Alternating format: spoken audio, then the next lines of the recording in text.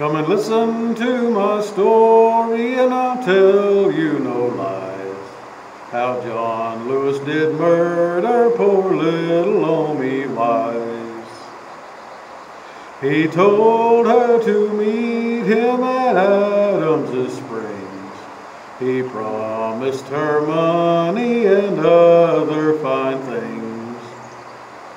So fool like she met him at Adams's Springs, but no money he brought her nor other fine things.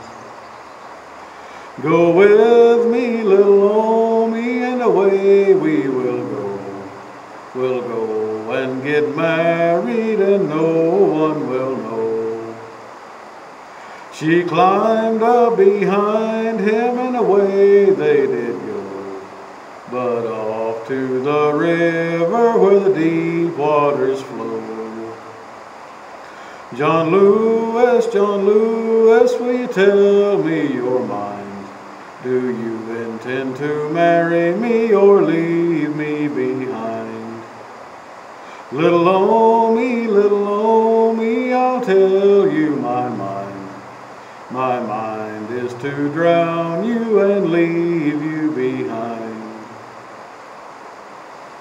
Have mercy on our baby and spare me my life. I'll go home as a beggar and never be your wife. He kissed her, he hugged her, and he turned her around. Then he pushed her in deep waters where he knew that she would drown. It was on a Thursday morning, the rain was pouring down, when the people searched for Omie, but she could not be found. Two boys went a fishing one fine sunny day, and they saw little Omie's body go floating away. They threw their net around her and they drew her to the bank. Her clothes all wet and muddy, they laid her on a plank. Then sent for John Lewis to come to that place.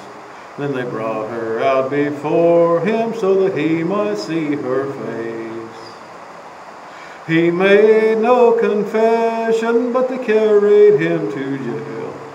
No friends or relations, no one would go his bail.